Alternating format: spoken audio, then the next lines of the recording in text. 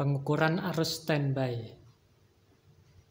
Arus standby sistem 48 volt 0,383. Baterai 52 volt. Ini sudah untuk menyalakan relay ATS. Coba relay ATS-nya akan saya nonaktifkan apakah standby-nya turun. Masuk ke menu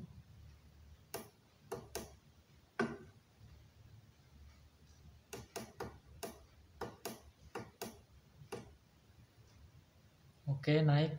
Standby-nya hanya 0,2 0,3. Ada beban voltmeter coba saya lepas.